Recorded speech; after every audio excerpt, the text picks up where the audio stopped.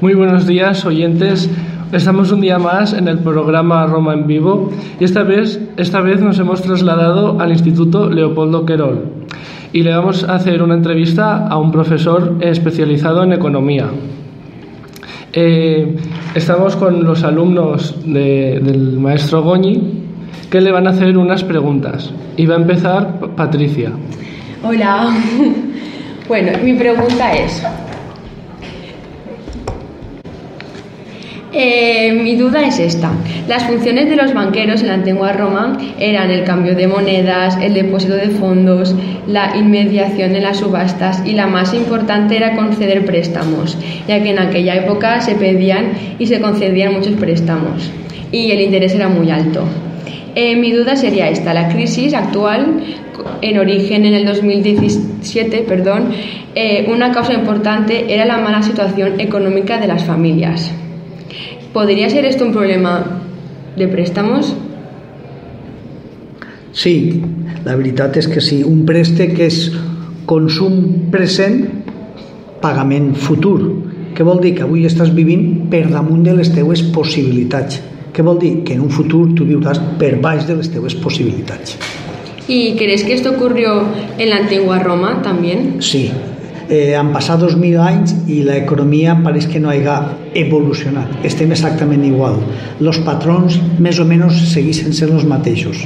Ens basem en el consum futur, molt de préstec, però després n'hi ha que pagar la deuda amb interessos i això és el que provoca la mala situació, per supost. Ahora tenemos otra alumna que también quiere hacer una pregunta. Lorena. Buenos días, Lorena. Buenos días. Mi pregunta es, las vías para hacerse rico en la antigua Roma eran diversas. La más rápida era la guerra, que podía proporcionar botines incalculables a los victoriosos. Hubo también quien hizo inmensamente rico mediante el acaparamiento de propiedades agrarias con los negocios derivados de las grandes contratas del Estado, como banqueros o prestamistas. ¿Ahora pasa lo mismo?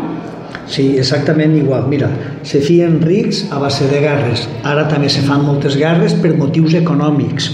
Eh, contractes de l'Estat, les grans empreses se fan molt riques els- i, a més a més, avui tenen, per fer-se rics, la propietat de les noves tecnologies. ¿Por qué se rompía la burbuja inmobiliaria a España? Així se trenca perquè és el que diem. Eh, què passava? Que els preus dels pisos anaven pujant, les hipoteques cada vegada eren a més anys, de més quantitat, i arriba un punt que el preu és tan alt de la vivenda que no es pot comprar ni en préstecs. Préstecs a 40 i 45 anys. Una barbaritat. Y después de, de tantos años, ¿tú consideras que la economía sigue igual? Sí, eh, és cíclica, pega la volta pega la volta en 10 anys, sap de bons, 3 de dolents, en 20 o 25 anys o 30 una crisi més forta i uns quants anys bons, Ah, en 100 anys 70 de bons, 30 de dolents i tornem a repetir. És exactament com si esti, pareixem un hàmster, vinga a pegar-li voltes a la mateixa roda.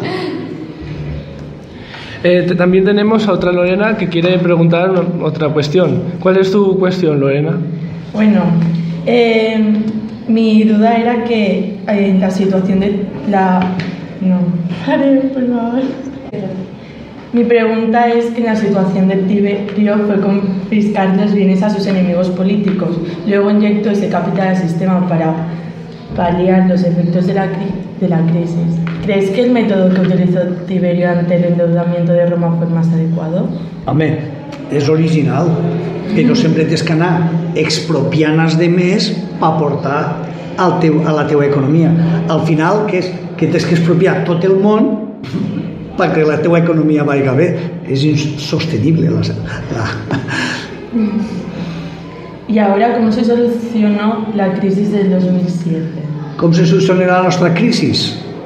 Abaratant els sous, fent que els treballadors cobren menys, produir a preu molt barat, tipus low cost, això és el que se ven a la resta del món, vas exportant, se van creant llocs de treball, però la situació és pagant, diguéssim, per, per la classe treballadora, la crisi. Uh -huh. Y por último tenemos también a Lucía que quiere hacer otra pregunta.